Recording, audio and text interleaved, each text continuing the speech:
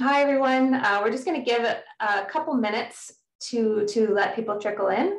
Uh, so we'll just get started shortly.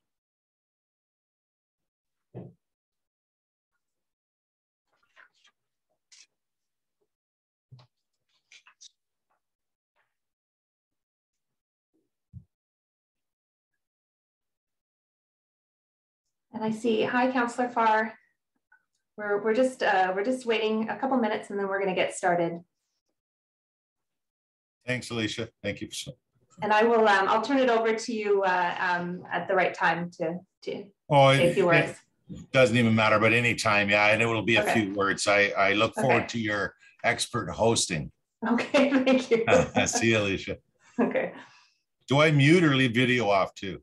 Um, you you can mute yourself for now um, and turn your video off and then turn it on um, when when you're ready to go. I got you. Thank you. Have a great meeting. Thank you.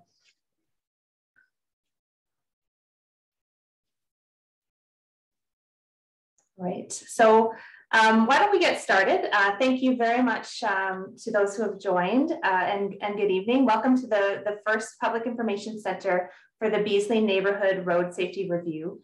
Uh, we really appreciate you taking the time to participate this evening. My name is Alicia Evans. I am a facilitator with AECOM and I will be your host for this evening. You Go to the next slide, please. Now, before we dive into the meeting itself, I'll just run through a few housekeeping items. As you may have seen on the main screen, um, all of uh, attendees are currently muted and you will not have access to your video function for, for tonight. Uh, we know that technological issues can and do happen, so we appreciate your patience with us.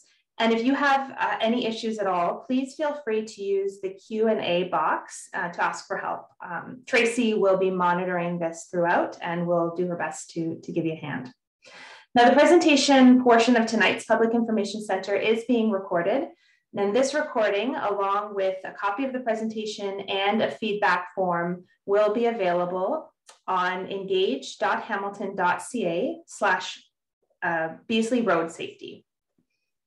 Next slide, please.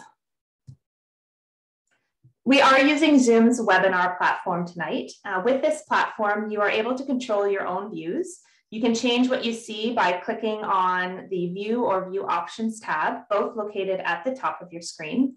And when it comes time to the question and answer period, we will invite your participation through the Q&A box or the raise hand feature. You can access these options through the menu bar, typically, typically located at the bottom of your screen um, by hovering your mouse. Uh, and if you are using a smartphone or tablet, you just can uh, simply tap the screen and the options should pop up for you.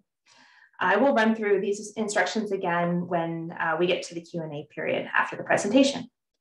Next slide, please. Now the agenda for this evening will unfold in two main parts. So after the introductions, the team will provide a presentation overview of the project and the work to date, including the neighborhood survey that was hosted on Engage Hamilton and the assessment of the neighborhood's existing conditions. The team will then present where the study is going from here, including the potential improvements to the Beasley neighborhood, how the potential improvements will be evaluated, along with other next steps. And following the presentation will be the question and answer period. Next slide, please. Uh, this evening, I will be joined by Josip Kafadar, the City of Hamilton Project Manager, Eleni uh, Dekaneas, the City of Hamilton Project Coordinator, Sherry Harmsworth, the AECOM project manager, who will be presenting this evening, as well as other city and AECOM staff. Um, they are, we do have a number of people available to answer questions as needed. Now, before I turn it over to Sherry, though, I'd like to welcome Ward 2 Councillor Jason Farr to say a few words. Over to you, Councillor. Okay, thanks very much, Alicia, and thank you everybody for attending. Just uh, briefly, this really is about AECOM doing their thing tonight, uh, which is uh, primarily their thing, getting your input. So uh, welcome to this first of uh, the engagement sessions with the Beasley Neighborhood uh, Road Safety uh, uh, Review, uh, born of great engagement in this neighborhood. I think not too dissimilar from our plan locals of the past that some of the folks tuned in or be very familiar with, where we also had a a, a, prime consultant uh, with a lot of passion and knowledge uh, in civic plan, in this case with Plan Local.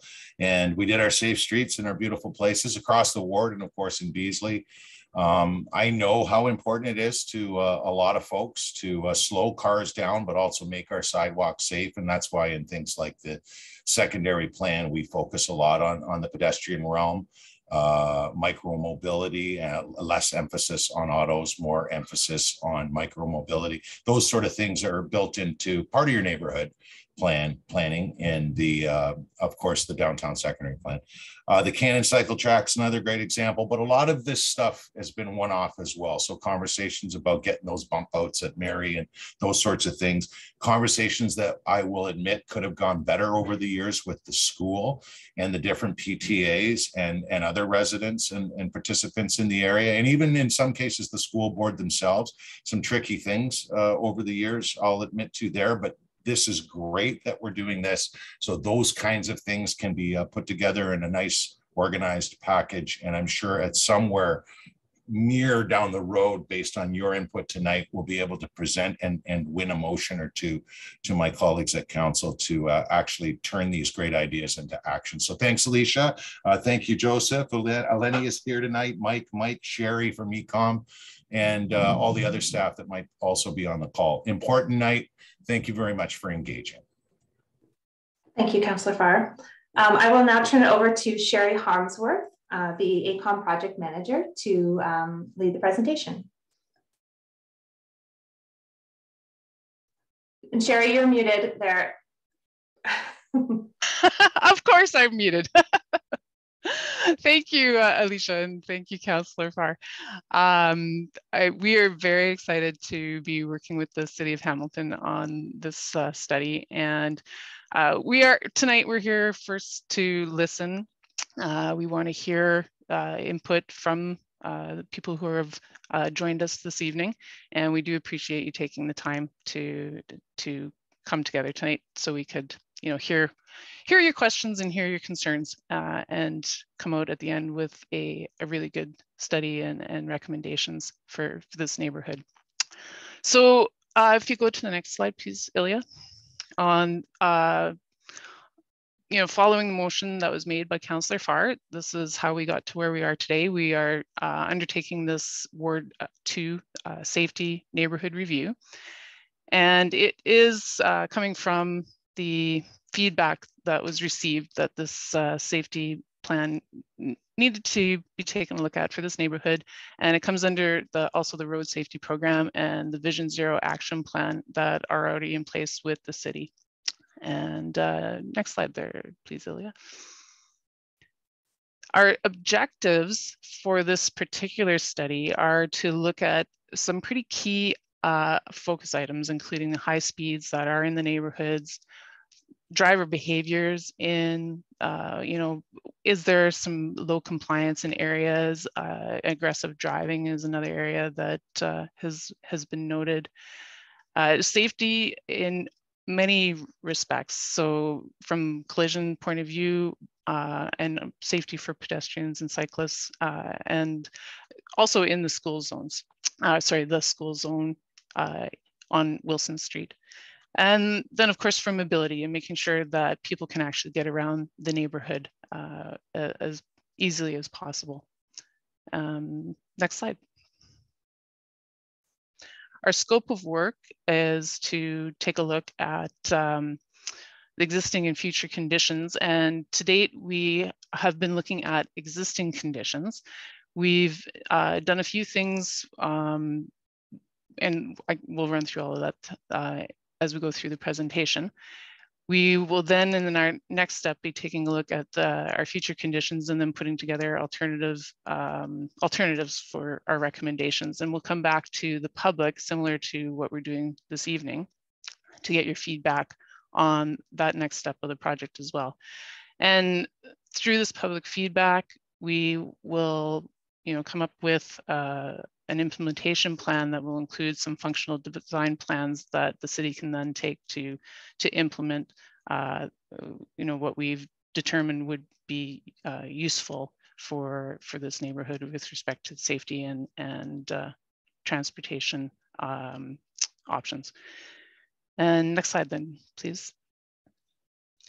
So as part of our existing conditions assessment, um, we are specifically looking in Ward 2. This is just our map that identifies the ward in relation to the rest of the, the city of Hamilton.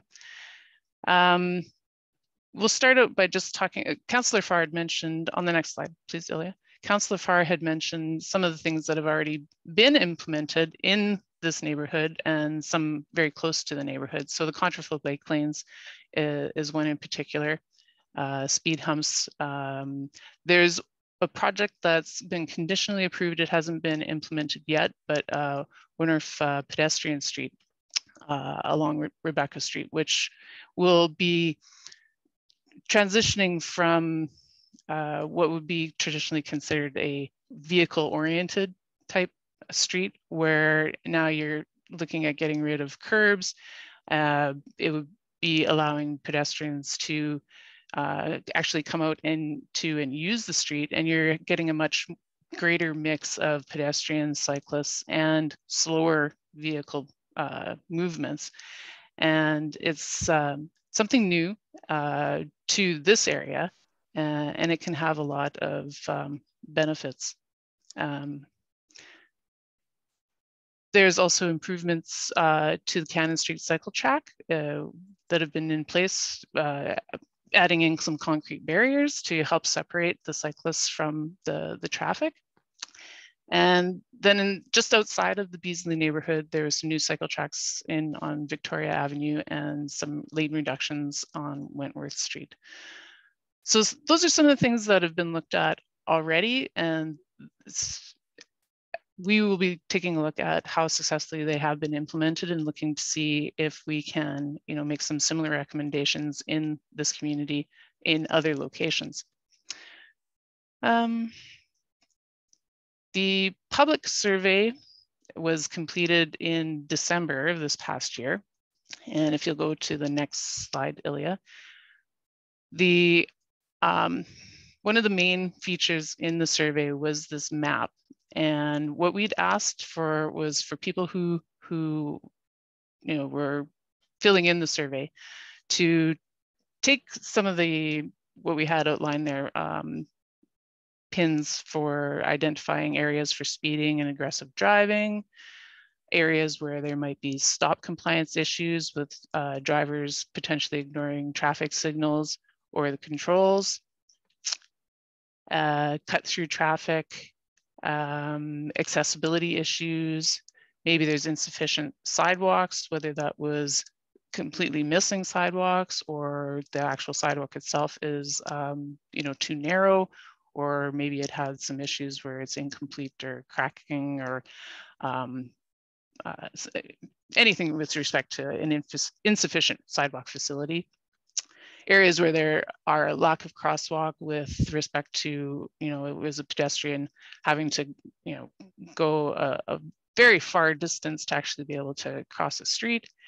And then the option to just identify some other possible improvements and, and you know, any other comments that they might want to make. So the actual map uh, is, that's shown here on this slide is the one that we did get from the survey. This uh, doesn't show actually every single comment that we received. Um, it, it's zoomed out a little bit because there was quite a few comments and it, it was hard to, to have a legible map for this presentation. Um, but what we were able to glean from this is that there was several uh, intersections that were very commonly identified by a number of respondents. And that included the Cannon Street East and Mary Street, Cannon Street East and Wellington Street, Wilson Street and Mary Street intersection, uh, Wilson Street and Ferguson Avenue North, Barton Street East and Wellington Road North, Murray Street East and Mary Street North, Murray Street East and John Street North, as well as James Street North and Vine Street. So we took these commonly identified intersections and we've uh, used those in uh, area further down uh, that we will discuss a little later on this evening in the presentation. Um, if you can flip to the next slide, Ilya. So one of the good things that I've felt about the survey was that we had asked people who were responding to identify how they were actually traveling through the community. And our hope with this was to have a better understanding of the perspective of the comment that we were receiving. So we were able to divide it out between pedestrians, cyclists, and uh, auto drivers. So um, pedestrians and cyclists had several very common um, types of concerns where there was lack of crosswalks, but it was again from a different perspective. So if you were the pedestrian, you wanted to be able to cross the street.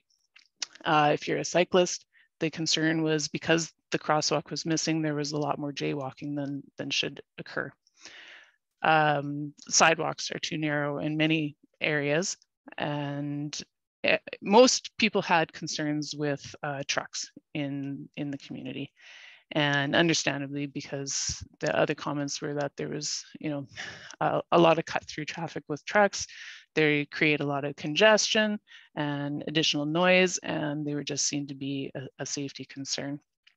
In addition to that there's other speeding vehicles uh, that were uh, just dangerous for the pedestrian cyclists in the community as well as drivers who just flat out ignored uh, signage, whether it was stop signs or no right turns on red signals.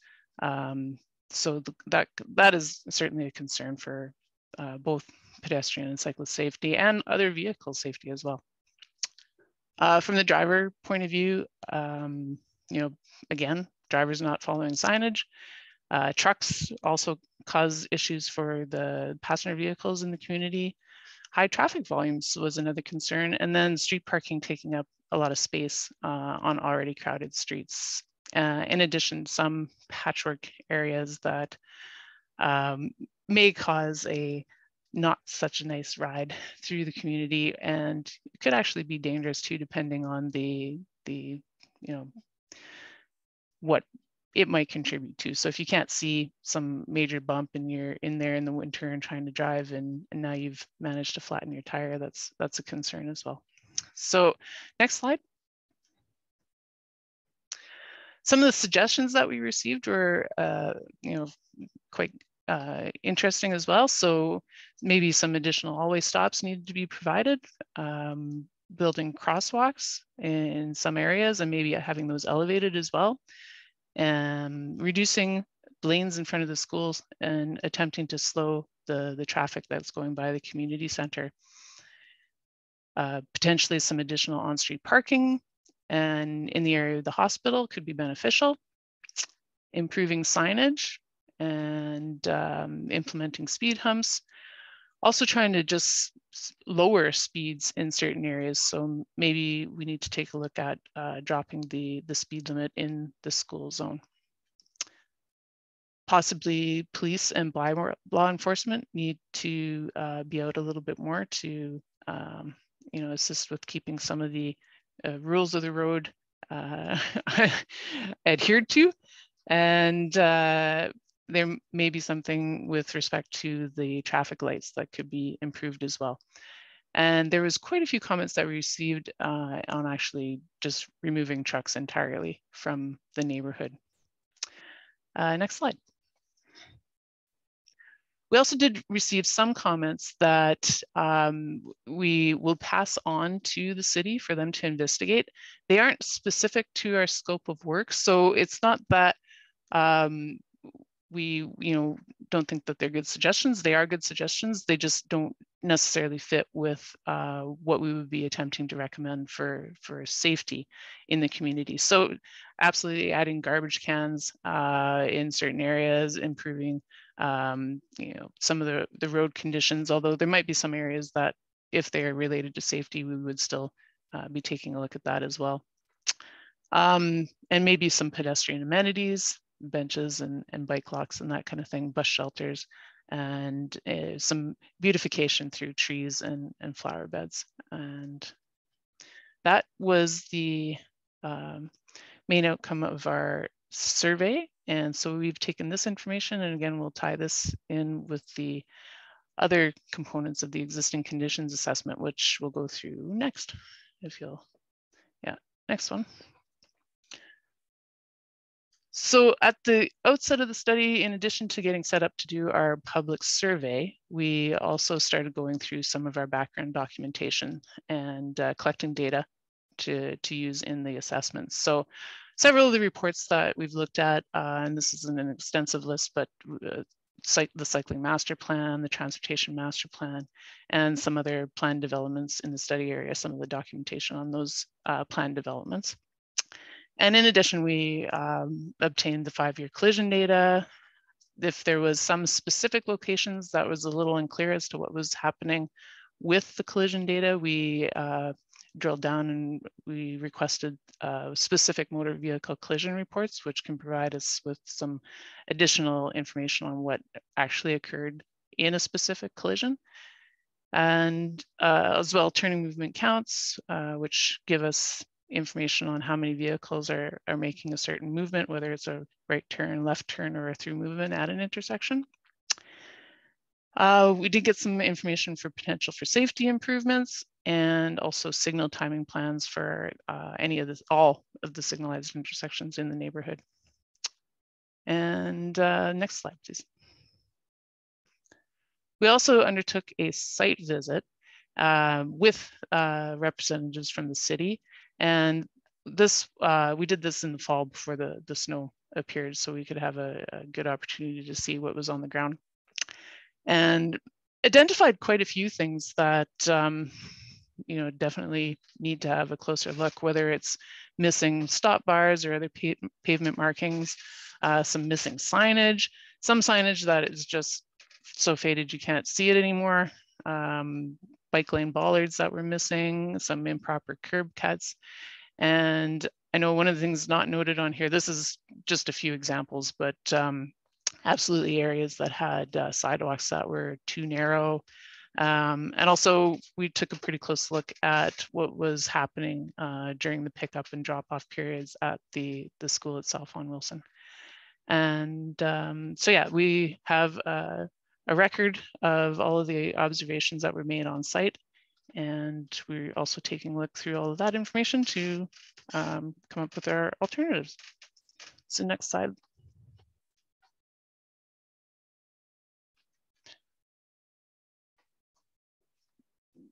As part of our existing conditions assessment, we took a look at what was out there for uh, existing traffic control. So this map identifies all of the signalized intersections, stop controlled intersections, and uh, locations of crosswalks. Um, it also uh, is just outlining our actual study area, which is you know bounded by James Street on the uh, sorry James Street North Wellington Street North, uh, Main Street East, and the CN Rail Line, which is just north of Barton Street. On our next slide, we also, um, if you can flip to that one, we also took a look at what was out there uh, today for active transportation and transit facilities. And these two maps just identify uh, what's there for designated bike lanes, uh, some non-designated cycling facilities, uh, signed bicycle routes, and paved multi-use recreational trails, and then where um, and which bus routes are, are running through the community. And uh, this information we gathered um, so we can have a, a, better idea of where people may be uh, both cycling and walking, um, particularly the walking with respect to the transit facilities too, because we need to be able to provide um, you know, facilities once you get off a bus, you need to be able to, to walk to wherever you're going to your destination, or if you're coming from the neighborhood and trying to get to a bus, you need to have uh, those sidewalk facilities as well to make that trip. Um, next slide, please. And uh, speaking of the pedestrian desire lines, part of that assessment was looking specifically at the school. So we took a look at what would be the five minute and 10 minute walking area from the school and uh, you know, confirming which intersections would uh, you know, have students that need to be able to cross the streets in that area. Um, and also the map on the right here shows some pretty uh, strong pedestrian de desire lines, particularly near the school and uh, at the uh, health, uh, the hospital in the, the northeast corner of the community. Uh, next slide. On our collision assessment, uh, this is a component that actually um, we, we've got a few slides on this one. So um, we'll just start with the overall collision data, which um, sorry, excuse me for a second. Um, this map identifies um, multiple collisions within the community. And it was actually a little bit of surprise just how many collisions there were in a five year period. Um, all of these collisions uh, were added to the map. And what we did was take a look to see if we could come up with several corridors that would be good representatives uh, of the in, entire community. And then we took a closer look at each of these corridors. Um, the four corridors that we selected were Cannon Street East, John Street North, Barton Street East, and Wilson Street. And part of our selection criteria was where, uh, which corridors had the highest number of pedestrians and cyclist collisions.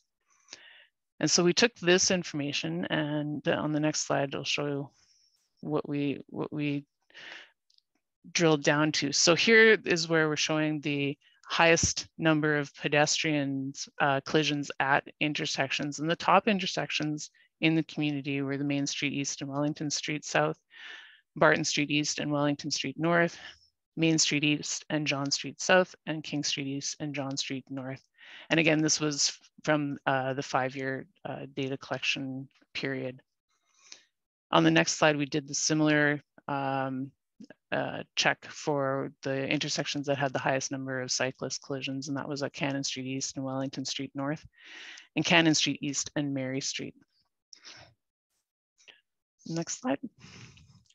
So taking all of the information that we looked at up to this point, um, so the, the pedestrian, um, cyclist, and vehicle collisions, the um, online survey and our pedestrian desire lines, uh, the active transportation facilities, the transit facilities. We, um, we selected 13 intersections to check uh, intersection operations. And what we will do with these intersections down the road is, um, you know, take a look at comparing operations with and without our, our recommended uh, solutions. So um, it's quite possible that we'll be adding some other intersections in uh, for operational assessment in our next phase. But for the moment, the 13 intersections that we took a look at operations um, are the ones shown in this map and, and listed there on this slide. So what we are uh, I guess we'll, I'll talk about that in the next step as well. But what we are wanting to do is to come up with solutions that we can apply not only to those intersections that are shown in that map, but uh, across the board with within the community. Um, so going through all of that information, uh, what we've come up with is the following proposed problem and opportunity statement. And if you'll flip to that, I'm just going to read this right off the panel here. The City of Hamilton Beasley Neighborhood Road Safety Review seeks to reduce collision rates and improve safety and connectivity by identifying mitigative measures to improve mobility for all travel modes, including vulnerable road users within the Beasley neighborhood. And, um, you know, as much as we were hoping to hear from you on any of your comments, we would also be happy to, to receive any comments on this problem opportunity statement if you think we're uh, not focusing on, on the right things. Um, so yeah, let's continue to the next slide. So talk briefly about our next steps and um,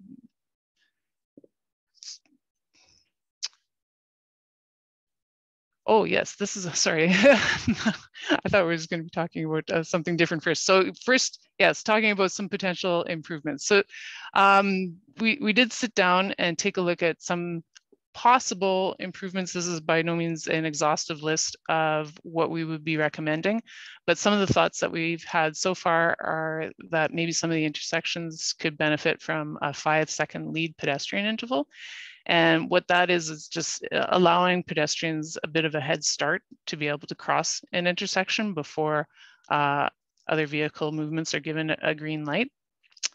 Um, definitely some controlled pedestrian crossings um, could certainly be added in some locations that would really facilitate movement throughout the community.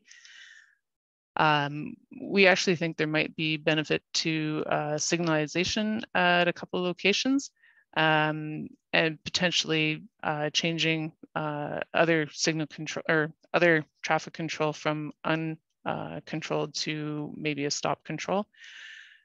Uh, state of good repair measures, um, that really means some things that need to be updated in the community, such as the signage that is no longer visible or paint markings on the roadway. Uh, that those things, if they're missing, could certainly be beneficial in respect of driver compliance and uh, widening of sidewalks. There are some areas that currently do, do not meet uh, AODA requirements and really do need to be widened. And then installation of possible traffic calming measures, and maybe that's curb extensions, uh, raised crosswalks, and um, possibly speed bumps as well. Next slide.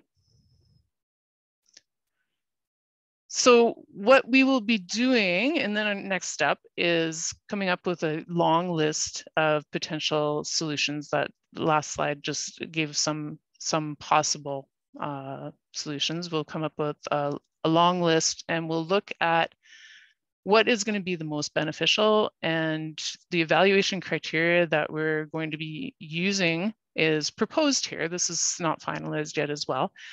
Um, will the measures that we be putting forward have the ability to improve pedestrian and, and cyclist safety? So that we think is our number one. If it doesn't meet that criteria, then it's not going to be carried forward. Um, it does it improve walkability and public health? Maybe that might be more of a nice to have, but in, in this day and age, certainly that is a very important consideration. Uh, does it have the ability to improve access to the institutions, businesses, and public places in the community? What is the capital cost? Is it constructible and can it be easily implemented?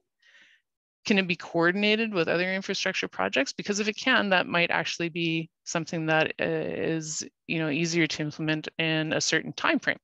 So if it can be um, implemented in you know five or ten years down the road as part of another project, that might be the best time to have it incorporated.